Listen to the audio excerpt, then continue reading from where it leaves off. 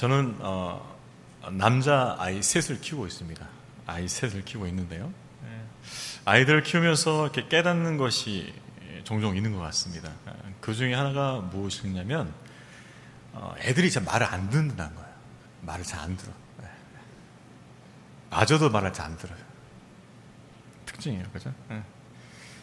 잘 변하지 않는다는 것입니다. 말을 많이 하고 때로는 체벌도 가해도 잘 변하지 않는다는 거예요. 제가 제일 어, 아이들한테 훈육했던 것 중에 하나가 제발 변기 덮개 올리고 소변 누라. 아 그거 제 생각할 때는 딱 들으면 한번될것 같은데 처음에 그런 생각도 했습니다. 얘들이 인간이 아닌가. 100번 넘게 얘기한 것 같아요. 그래도 변기를 이렇게 덮개를 올리고 오줌을 넣어야 되는데 안 그렇고 항상 이 묻었잖아요. 지금은 이제 많이 좋아졌습니다. 어렸을 때 그랬다는 거죠. 그 다음에 이제 양말 밖에 나갔다가 외출했다 들어오면 양말을 똑바로 펴서 세탁기에 집어 넣어라. 똑바로 편 적이 없어요. 그냥 벗겨진 대로 그냥 어, 넣으면 다행이지 그것도 안 넣고.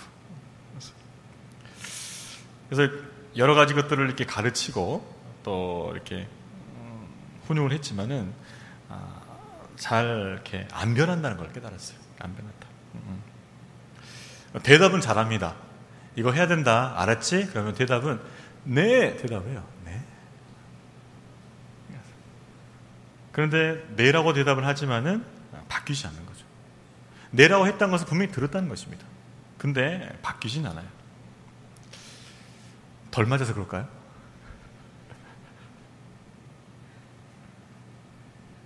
제가 깨닫는 것은 그런 것이었습니다. 아, 듣기는 하되 제대로 알아듣지 못하는 경우가 많다는 거죠. 듣긴 듣습니다. 예라고 대답합니다. 근데 제대로 알아듣지 못하는 거죠. 이런 것이죠. 이렇게 해야 된다 말했을 때, 네 하면서, 네 하면서 아빠 했던 말이 쏙 나가는 거예요. 네 하면서. 그래서 제대로 말씀이 남아있지 않는 거죠. 훈계했던 말씀이 남아있지 않는 거예요. 그래서 잊어버린 거죠. 결국 듣긴 들었는데, 귀로 듣긴 들었는데, 제대로 알아듣지 못한 거였어요. 여러분, 우리 신앙생활 가운데도 이러한 현상이 있을 수 있습니다. 말씀은 들었어요. 하나님 말씀 들었습니다. 예배 때, 아멘, 네, 그렇게 하겠습니다. 근데 나가면서 잊어버려요. 나가면서. 나가면서. 제대로 알아들은 것이 아닐 수 있다는 것이죠. 우리는 지난주에 어, 복음의 말씀을 씨로 비유한 말씀을 들었습니다. 복음의 말씀은 씨앗이고 그 씨앗은 심겨져서 열매를 맺게 된다는 것이죠. 자, 이 복음의 씨앗은 생명이 있습니다. 그래서 복음의 씨앗은 문제가 없어요. 다만 이 복음의 씨앗이 심겨진 밭의 상태가 어떻냐는 것이죠. 그것이 길가냐, 돌밭이냐, 갈기 떨기, 가시 떨기에 떨어졌느냐, 아니면 좋은 밭에 떨어졌느냐는 것이죠. 아무리 좋은 씨, 생명의 씨앗이 떨어져도 어떠한 마음밭에 따라서 열매가 달라진다는 거예요.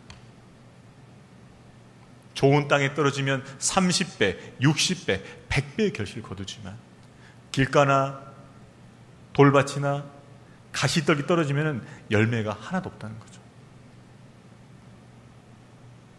결국 이것은 하나님의 말씀이 우리 마음 가운데 떨어질 때 그 마음이 어떤 마음이냐, 어떤 마음으로 받느냐는 것이죠. 거기에 따라서 풍성한 열매를 맺을 수도 있고 아니면 전혀 열매가 없을 수도 있다는 것이죠. 오늘 본문 말씀은 지난주 말씀과 연결되어 있습니다. 자, 그렇다면 하나님 말씀이 내 마음밭에 떨어질 때 어떤 과정을 통해서 떨어지냐는 거죠.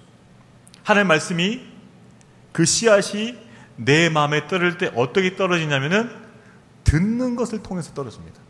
말씀을 들음을 통해서 그 말씀의 씨앗이, 그 복음의 씨앗이 우리 심령에 딱 떨어져요. 그래서 중요한 게 뭐냐? 이 듣는 거라는 거예요, 듣는 거. 우리가 어떻게 듣느냐에 따라서 이 마음밭에 잘 심길 수도 있고 듣는 태도가 불량하면은 잘 안 심길 수도 있다는 것이죠. 그래서 오늘은 이 복음의 말씀을 어떻게 듣는가에 대한 그 태도를 이야기하고 있습니다. 말씀을 어떻게 듣는가. 그것에 대해서, 그것에 따라서 우리 영적인 삶이 아주 다르다는 거예요. 풍성한 삶을 살든지, 여전히 영적으로 삶을 살든지, 결정이 난다는 것이죠. 그 듣는 거 하나가 결정난다. 듣는 거. 어떻게 들을 것인가 하는 것이죠. 그렇기 때문에 이 마가복음은 어떻게 보면은 이 어제 지난주 본문과 오늘 본문을 연결하면서 하나님 말씀을 듣는 그 태도를 좀 더 강조하고 볼 수 있어요. 지난주는 마음밭을 강조했다면 오늘은 어떻게 들을 것인가를 더 강조하고 있는 것이죠. 어떻게 들을 것인가. 지난주는 복음의 말씀을 생명의 씨앗으로 비유했습니다. 그런데 오늘 방문 말씀은 그것을 등불로 비유하고 있어요. 우리 21절 말씀 같이 읽습니다. 시작. 또 그들에게 이르되 사람이 등불을 가져오는 것은 말 아래나 평상 아래 두려함이냐 등경 위에 두려함이 아니냐 했습니다. 자, 등불은 뭐예요? 등경 위에 둬야 되는 것이죠. 왜요? 비치기 위해서. 등불 자체가 비춤을 목적으로 하고 있기 때문에 반드시 잘 보이는 등경 위에다 둬야 됩니다. 어둠을 밝히기 위한 목적을 위해서이죠. 자, 그런데 여기서 이 등불은 바로 예수 그리스도, 예수 그리스도의 그 복음을 의미하는 것이죠. 어두워진 세상 가운데 등불로 오신 예수 그리스도, 그의 복음을 얘기하는 것입니다. 그렇습니다. 예수 그리스도가 오기 전에 모든 것이 다 어둠입니다. 이 세상도 어둠이었고요. 우리 인생조차도 어둠이었어요. 여러분, 여러분이 예수님 만나기 전을 생각해 보십시오. 예수님 만나는 그 전, 비포를 생각해 보십시오. 어땠습니까? 그 인생이란 것은요, 내 뜻대로, 내 욕심대로, 어떤 내가 추구하는 어떤 그런 목표를 향해서 그렇게 살았던 인생이에요. 좌절도 경험하고요, 회의도 경험하고, 허무함도 경험하면서, 심지어는 인생이란 게 무엇인가라는 그 미국에 빠지게 됐었어요. 바로 어둠이죠, 어둠. 뭔가 영원한 어떤 진리로 비견될 만한 어떤 그런 내 삶의 확실한 목표도 없이 그저 남들과 비교해서 그렇게 살아야 된다고 생각하니까 남들도 그렇게 사니까.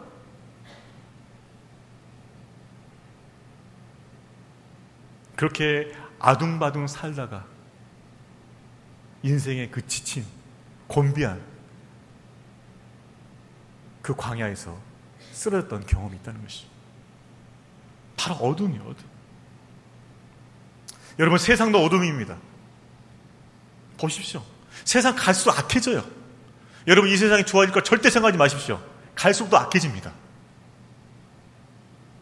죄가 더 가득할 거예요, 이 세상. 크리스찬의 신앙생활이 더 어려워질 것입니다, 외적으로는. 어둠이에요, 어둠. 그 어두운 가운데서 유일한 소망 되신 예수 그리스도. 그분이 우리 가운데 빛 가운데로 빛으로 오신 줄로 믿습니다. 그 예수 그리스도께서 내 인생의 어둠 가운데, 이 세상의 어둠 가운데 오신 것이죠. 그래서 인생을 밝혀주시고 세상을 밝혀주셨습니다. 내 안에 있는 그 어둠, 걱정, 근심, 어둠 그늘, 그 두려움, 그 무엇으로 그것을 쫓아낼 수 있겠습니까? 오직 예수 그리스도의 주시는 그 기쁨과 평안과 그 소망이 그 어둠을 물리치는 줄로 믿습니다. 예수 그리스도께 주시는 그 평안과 기쁨과 소망만이 우리에게 빛을 준다는 것이죠. 그렇기 때문에 예수 그리스도는 우리의 빛이 됨을 분명히 고백할 수 있어야 됩니다. 그리고 그 예수 그리스도를 우리가 전할 수 있어야 되는 것이죠. 우리가 예수 그리스도의 복음을 듣고 우리가 빛의 자녀로서 그 신분이 바뀌어졌다면 이 빛된 복음을 전해야 되는 것이죠. 나만 빛의 자녀로서 다시 거듭나는 것이 아니라 하나님 알지 못해서 아직도 그 어두운 가운데 영혼들 여러분 어두운 가운데 영혼들 보이십니까? 예수를 알지 못해서 어둠 가운데 헤매건 영혼들이 보이십니까? 저는 너무나 잘 보여요. 자기 뜻대로, 자기 고집대로, 자기 욕심대로 그 뭔가 허망을 쫓고 있는 그 인생들의 그 피폐함을 저는 보인단 말입니다. 그들 가운데 예수 그리스도의 빛이 비춰져야 될 줄로 믿습니다. 누가 비출 겁니까? 저와 여러분 비춰야 되죠. 예수께서 십자가에와 그 부활과 그 성령의 강력하심을 통하여서 우리에게 하나님의 구원의 은혜를 밝히 비춰주신 것처럼 우리 삶을 통해서 하나님의 그 구원의 은혜, 예수 그리스도의 그 은혜의 빛이 비춰될 줄로 믿습니다. 우리는 빛으로 모신 받았기 때문에 빛을 비춰줘야 돼요. 비춰줘. 그것이 등불 대신 예수 그리스도께서 우리에게 부탁하신 것입니다. 내가 너에게 구원의 빛을 비춰준 것처럼 너도 구원의 빛을 내 이웃에게 세상에게 비추라는 것이죠. 여러분 예수 그리스도께서 빛이 된다는 것, 예수 그리스도께서 생명이 되신다는 것은 절대 추상적 개념이 아닙니다. 우리 기독교는 절대로 추상적 개념이 존재하지 않아요, 사실. 그건 철학입니다. 기독교는 역사적 사실과 현실적인 능력과 분명한 미래 소망을 이루어진 거예요.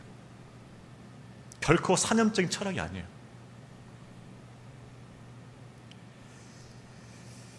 혹자는 이렇게 말합니다. 나이가 많으면 예수 믿기 어렵다. 맞을까요? 틀릴까요? 대체로 통계적으로 그렇습니다. 나이가 많으면 예수 믿기가 힘들어요. 왜냐하면 자기 신념이 강해요. 인생을 살아오다 보니까 자기 생각, 자기 철학, 자기 고집이 좀 강해. 나이가 드신 분들은. 그래서 제가 복음을 전하다 보면 나이 든 분들은 정말 힘들어요. 근데 언제 복음을 받아들이냐? 병상에서. 이제, 이제, 이제 인생의 그 위기 가운데서는 마음이 좀 열리시더라고요. 근데요, 나이가 많다고 해서 예수 그리스도를 안 믿는 게 아닙니다. 제가 아는 어떤 할아버지 한 분은 어, 그런 분이셨어요. 제가 전에 사역했던 교회 그 여집사가 아, 교회에서 평신도 리더였습니다. 그 시아버지이신 분이에요. 85세. 그 시아버지에서 얼마나 오랫동안 기도했는지 몰라요. 제발 예수 그리스도의 빛이 우리 아버지에게 돌아, 들어가게 해 주십시오. 기도했었어요. 몇십 년 기도했겠죠. 더구나 이 85세 할아버지는 불교 신자입니다. 나이도 많지, 불교 신자지. 또 제가 대화를 해보니까 정말 고집이 장난이 아니에요. 근데 인생의 그 늙음 악 가운데서 사업도 안 되고 자식들도 자기 마음대로 이렇게 안 되어주고 인생의 회의에 빠진 거, 허무에 빠진 거. 그러다가 며느리가 아버지 교회 가셔서 하나님 찾으셔야 됩니다. 아, 이 한마디에 마음이 끌려가지고 그래 가보자 하고 갔는데 가서 은혜를 받은 거예요 이분이. 뭔가 이분이 좀 실수한 거죠. 가서 은혜 받고 그러면서 새 가족이 등록을 했어요. 등록하고 나서 1주, 2주, 3주, 4주 교육받으면서 나중에 예수를 영접하게 되었어요. 하나님의 놀라운 구원의 역사가 나타났던 것이죠. 이분이 예수 그리스도의 빛이 들어가니까는 인생이 완전히 바뀌시더라고요. 말씀 읽기 시작합니다. 85세 어른이 두 달 만에 성령 일독했어요. 밤새 늦게까지 막. 제가 이제 신방을 했습니다. 신방을 했더니 신방할 때 성경 읽으면서 그동안 궁금했던 거 밑줄 다 참았어요. 신방하자마자 다 물어보기 시작하더라고요. 이건 이게 무슨 말씀입니까? 이런 것이면 아 됐습니다. 그럼 이거 무슨 말씀입니까? 신방인지 성경 공부인지 알 수 없는. 아. 예수 그리스도 빛이 들어가니까는 이 진리에 대한 이 호기심, 진리를 알고 싶은 이 욕심이 막 생겨나기 시작합니다. 말씀에 는 열심을 갖게 되고지고 그 다음에 교회 집회에 참여하게 되고 훈련도 받게 되면서 놀랍게 변화되는 걸 보았습니다. 그 인생은 예수를 그리스도를 만나기 전까지 어둠이었어요. 그저 자기 욕심대로 자기 사업 성공하는 거, 자기 자식들 내 뜻대로 잘 되는 거. 그것이 인생 전부였어요. 근데 그것도 자기 뜻대로 안 되는 거예요, 둘 다. 사업도 안 되고 자식도 자기 뜻대로 안 되는 거예요. 그러다 보니까 인생의 깊은 수렁에 빠진 것이죠. 그러다가 예수를 만나면서 그 안에 빛이 비춰지게 된 것이죠. 그분 이렇게 고백합니다. 내 인생은 어둠이었습니다. 예수를 만나기 전, 그분이 내 인생 가운데 들어오기 전, 내 그분이 내 인생 가운데 빛으로 들어오기 전까지 나는 어둠에 있었습니다. 내 욕심이 그 어둠을 만들었습니다. 그러나 이제는 빛 대신 예수를 만나고 나니 평안해지고 내 남은 인생 어찌하든지 예수님도 알고 그분의 뜻을 위해서 살고 싶습니다. 이것이 그분의 고백이었어요. 85세는 그 노인이 예수의 빛이 들어가니까 그 인생이 바뀌어버린 것입니다. 여러분, 여러분 인생 가운데 예수 그리스도의 빛이 찾아오면 여러분의 인생이 변화될 줄로 믿습니다. 예수의 빛은 능력이 있어요. 능력이. 능력이 있어요. 제가 아까 이번 불교 신자라겠죠? 제가 2차 신방 갔습니다. 2차 신방 와서 했던 일이 뭔지 아세요? 그 집안에 불교 관계는 모든 물건들을 다 차에 태워서 버린 것이었습니다. 불교도 제대로 밀려면 돈이 들더라고요. 보니까 액자 이거 100만 뭐 원짜리 뭐 있고 뭐 달마대사 이거 비싸더라고요. 다. 뭐 부적도 비싸고 부적, 액자 거기에 또 불교도 제사 드릴 때 그릇이 따로 쓰는 그릇이 있어요. 그 그릇들 다 뒤주 같은 데 다 모셔놨더라고요. 싸그리 다 모아가지고 다 태워요. 이제 주님만을 섬기고 싶었어. 이제 예수님만을 섬기기 위해서 우리 가정은 예수님만 섬기기 때문에 더 이상 저런 것들 필요가 없습니다. 다 가져왔어요.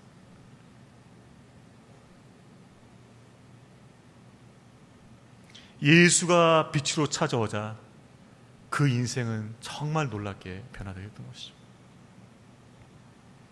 여러분, 예수의 빛이 여러분 인생 가운데 더, 더 깊이 풍성히 비춰짐을 통하여서 여러분의 삶이 변화되시기를 주임으로 축원합니다. 예수의 빛이 비춰져야 돼요. 예수의 빛이. 예수의 빛이.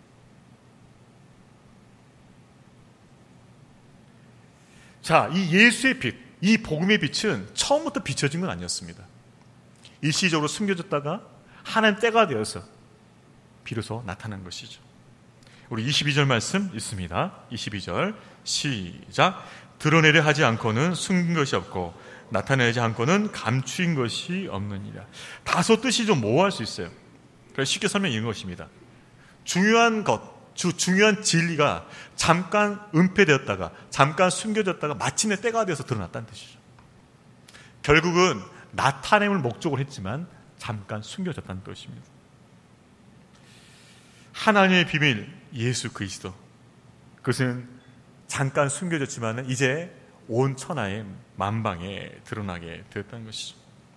그래서 예수 그리스도의 그 복음, 예수 그리스도의 그 구원은 비밀과 같다는 것입니다. 비밀과 같다는 것이죠. 여러분 성경책을 읽어보면 많은 책을 사도 바울이라는 분이 있었습니다. 사도 바울. 사도 바울. 음. 이 사도 바울은 아주 탁월한 학자였어요. 근데 이 사도 바울이 이 성경에 많은 책을 쓰면서 어, 그가 쓰는 서신의 그 특징들을 나타내었습니다.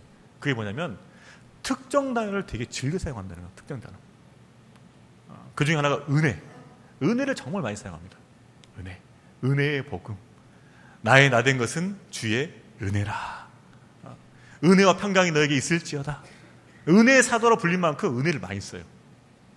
또 하나 많이 쓰는 단어가 있어요. 그게 뭐냐? 비밀의 비밀. 비밀. 복음의 비밀. 비밀. 영어로 미스터리, 비밀이야, 비밀.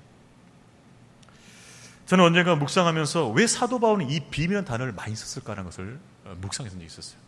왜? 왜 이 비밀 미스터리를 많이 썼을까? 이해가 됐었어요.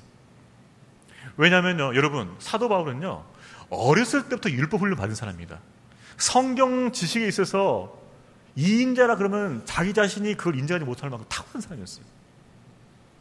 성경 지식, 율법 지식, 율법 훈련은 그 누구 못지않게 훈련 받은 사람입니다. 그리고 그렇기 때문에 자기 자신은 그 누구보다 하나님 앞에 바로 서 있다고 생각했었어요. 하나님 앞에 바로 서 있다고 생각했던 사람이 바로 이 사도 바울이에요. 근데 실상은 아니었죠. 하나님께 우리에게 보신 그 구원의 비밀은 바로 예수 그리스도였습니다. 우리가 의를 얻을 수 있는 방식은 내 행위로 얻는 것이 아니고 십자가에 달리신 그 예수 그리스도, 우리 모든 죄를 그 십자가에 해결하시고 용서하신 그 예수 그리스도를 믿는 믿음 말미암아 우리가 구원받는다는 그 의의 도를 우리 가르쳐 주셨는데 사도 바울은 이것을 몰랐던 거죠. 비로소 담에서 도상에서 3일 동안 눈이 멀면서 금식하면서 예수 만나면서 비로소 깨달은 거예요.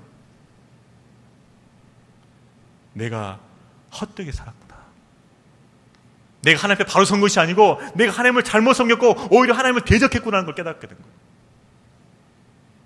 그러다 보니까는 그것이 비밀이었다는 걸 깨닫게 왜 내가 그것을 몰랐을까? 예수님께서 나의 구원자 되신 걸 내가 왜 몰랐을까? 왜 모르고 예수 믿는 사람을 핍박하고 그렇게 괴롭히고 잡아 가뒀을까? 너무나 내 인생이 한탄이 되는 거죠. 그래서 왜 내가 그 비밀을 빨리 알지 못했던가? 왜 그 비밀을 빨리 깨닫지 못했던가? 그랬으면 내 인생이 달라졌을 텐데. 우리 가운데 좀 나이가 연사 돼서 예수 믿는 분 계시죠? 그분들 고백이 뭡니까? 아, 좀 더 빨리, 조금만 더 빨리 우리 예수님 만났으면 좋았을 까 고백하는 거죠. 왜 내가 예수님 몰랐을까? 비밀이 비밀. 사도 바울은 그 비밀 대신 예수 그리스도를 알고 나서는 야, 내 남은 인생은 하나님 위해서 다 드려야겠다. 그래서 미친 듯이 복음을 전하고 어떠한 박해 가운데서도 예수 그리스도를 전하기를 주저하지 않았던 것이죠. 여러분, 우리는 그 예수 그리스도의 그 복음의 비밀이 우리 가운데 분명히 드러난 줄로 믿습니다.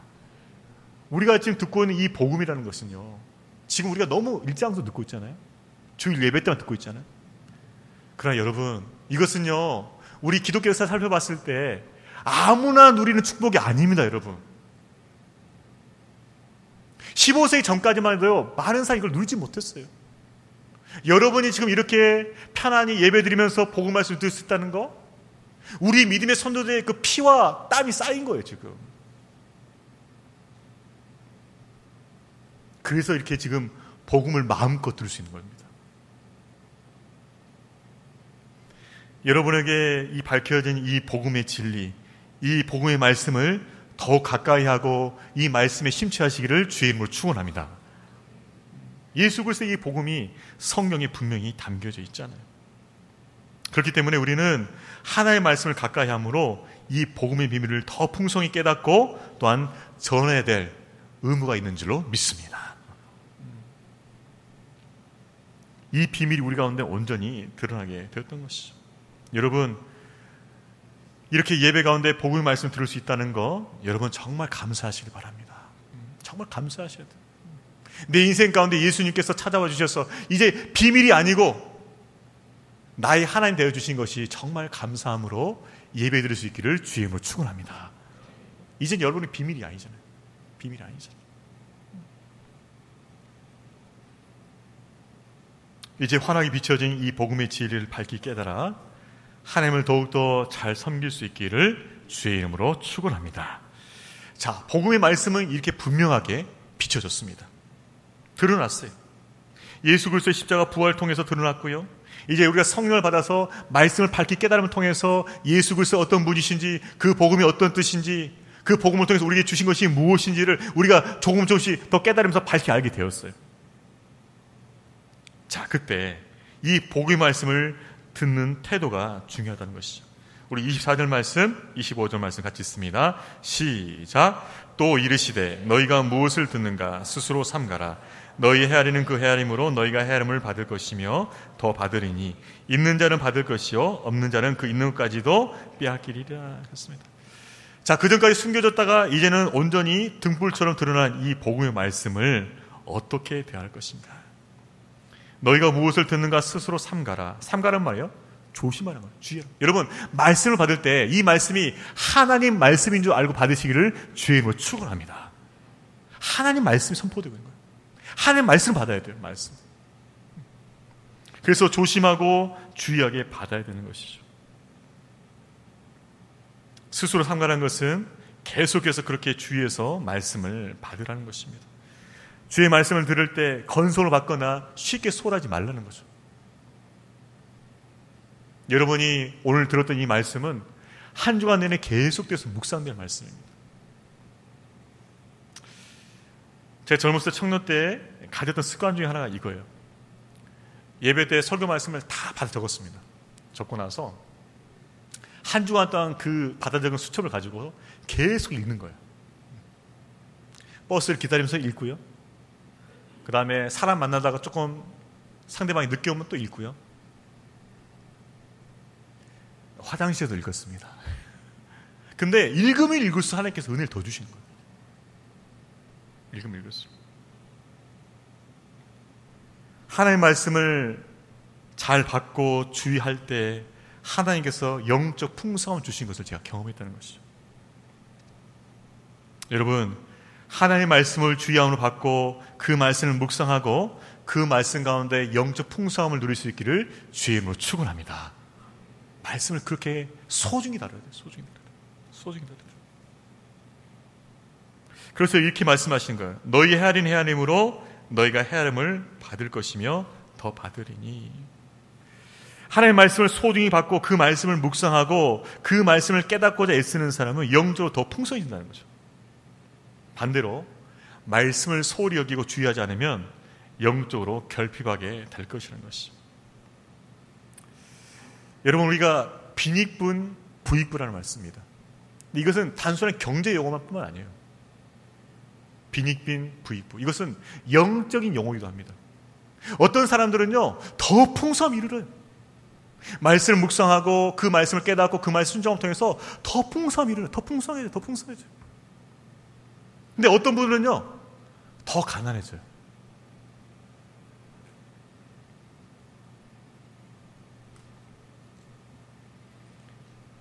하나님 말씀을 귀하게 여기고 주위에서 듣고 그 말씀을 깨닫고자 하고 그 말씀을 내 삶에 순종하고자 하는 사람들은요 영적 풍성함이 더욱더 커진 거예요. 근데 그 말씀을 단순히 교양으로 어떤 한 교훈으로 생각하고 쉽게 듣고 진압해지는 사람은 열매를 못 맺는다는 거죠. 여러분 하나님 말씀을 소중히 여겨서 그 말씀을 묵상하고 그 말씀을 깨닫고 그 말씀에 순종하면서 영적 풍성함이 여러분 가운데 있기를 주의 이름으로 축원합니다. 말씀을 소중히 받으셔야 돼요.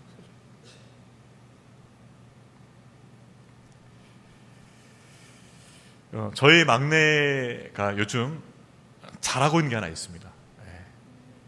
이 말은 평소엔 잘 못한다는 뜻인데 하나에 빠진 게 있어요. 중독이 빠져 중독. 하나에 중독됐어요. 무슨 중독이냐? 필사 중독 빠져 필사 중독. 필사 중독이 뭔지 아십니까? 성경을 쓰는 거, 쓰는 것에 빠졌어요. 8살짜리인데 빠졌습니다. 가지고 성경 쓰는 거 너무 좋아해요. 밥 먹자고 내가 밥 먹을 때 빨리 내려와 그러는데 안 내려오는 거예요. 그래서 올라가서 뭐 하고 있어? 밥 먹어야지. 보니까는 뭔가 쓰고 있어요. 뭘 쓰고 있냐? 그러니까는 성경 쓰고 성경, 성경. 빨리 내려서 밥 먹자. 좀만 더 쓰고 내려갈게요. 밥을 다 먹었습니다. 쉬어야 되잖아요. 아빠 밥 다 먹었으니까 올라가서 또 성경 쓸게요. 또 올라가는 거예요. 또 성경 쓰기 시작하는 거예요. 여러분이 생각하신 대로 제정신이 아닙니다. 정신이 온전치 않아요. 전에 그렇지 않았는데 요즘 그런단 말이죠. 애가 필사에 빠져가지고 성경 쓰기 너무 좋아해. 그래서 물어봤습니다. 야, 성경 쓰기 이렇게 좋냐? 아빠 성경책 너무 좋아 지금 계속 써요 계속 어. 형들은 지금 막 다른 거 뭐 유튜브 열어가지고 막 보고 있는데 옆에서 유튜브 소리 들으면서 막 성경 써 뭐가 들어갔습니까? 말씀의 빛이 지금 들어간 거예요 그 아이한테 말씀 빛이 들어가니까 얘가 변한 거죠 그러면 형들은 이제 유튜브 보고 딴 거 하고 있는데도 신경 안 써. 걔네도 말씀 써야지 말씀.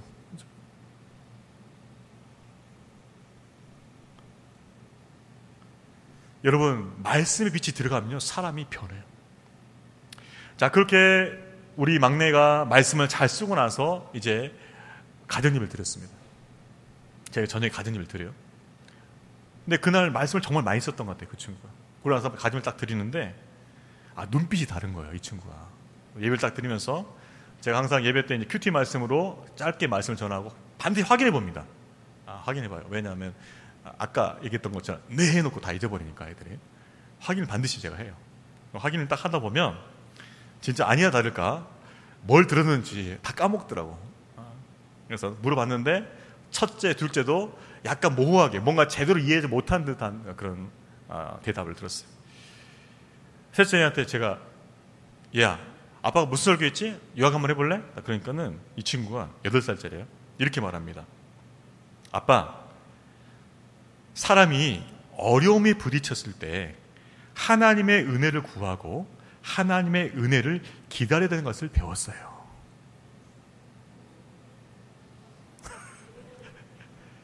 사람이 어려움에 부딪혔을 때는 하나님의 은혜를 구하고 하나님의 그 은혜를 기다려야 되는 것을 배웠어요. 제가 어, 너무 저랑 아내 눈이 뜨악해지더라고요. 근데 그래도 그럴 것이 이 친구가 말씀을 피싸서 그런지 눈에 총기가 딱 보이더라고요. 보이잖아요, 총기가.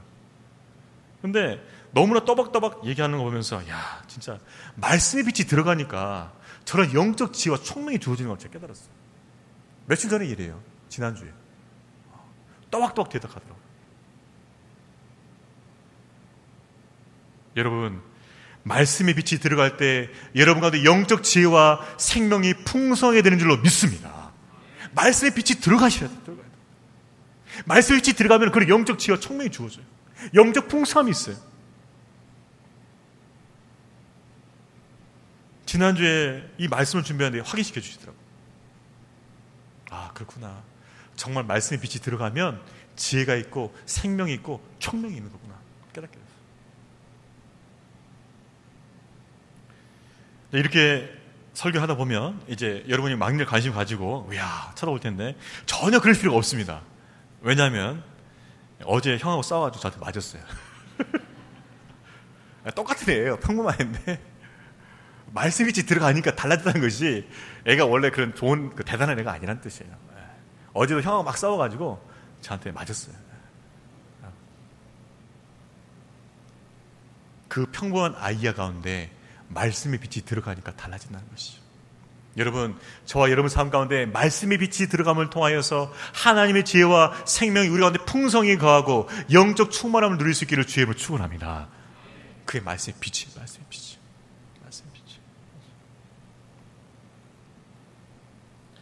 말씀의 빛이 들어올 때 우리의 삶은 풍성해지고 기름지게 되는 것이죠. 여러분, 그래서 말씀의 태도가 되게 중요해요. 어떻게 말씀을 대할 것인가? 그 말씀의 태도를 따라서 우리 영적인 삶의 질이, 영적인 삶의 그 quality가 달라지는 거예요. 어떤 사람 똑같은 말씀을 듣지만은 그 사람 영적으로 더 풍성해질 수도 있고, 어떤 사람 똑같은 말씀을 들으지만 여전히 영적으로 무감일 수 있다니까요. 저와 여러분은 하나님의 말씀을 소중히 받아서 그 말씀의 순종함을 통해서 그 말씀을 계속해서 묵상함을 통해서 영적 풍성함을 누릴 수 있기를 주의 이름으로 축원합니다. 말씀을 어떻게 받느냐는 거죠. 말씀을 어떻게 받는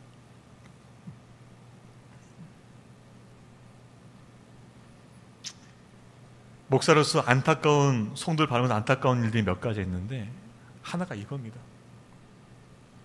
예전에는 열심히 있었어요. 청년 때 중일학교 때 얼마 전까지 집사 받을 때까지 열심히 있었어요. 그런데 시간이 지나면서 그 열심을 잃어버린 거예요. 그래서 뭐 하고 있냐? 옛날에 받았던 그 은혜를 재탕, 삼탕, 사탕, 오탕까지만 사는 거예요, 지금. 옛날에 받던 그 은혜 가지고 사는 거예요. 옛날에 주셨던 그 말씀 갖고 사는 거예요. 오늘 주신 말씀 갖고 사는 게 아니라 옛날에 주셨던 그 말씀 갖고 사는 거예요, 지금. 옛날에 주셨던 그 은혜 갖고 사는 거예요. 그때 좋았지. 그때 은혜 받았지. 그때 좋았었는데. 그래서 그 은혜 가지고 지금도 재탕, 삼탕, 우려먹고 또 우려먹고. 근데요, 그 은혜는요, 얼마 못 가요. 주님은 오늘 또 살아계시고, 오늘 또 우리 가운데 새 은혜를 부어주신 줄로 믿습니다. 오늘 은혜로 살아야죠, 오늘 은혜로. 왜 어제 은혜로 삽니까? 오늘 주신 은혜로 살아야죠, 우리가. 말씀의 빛이 들어오면은 오늘의 은혜로 우리가 풍족하게 사는 줄로 믿습니다. 여러분, 오늘의 은혜로 사셔야 돼요. 오늘의 은혜로.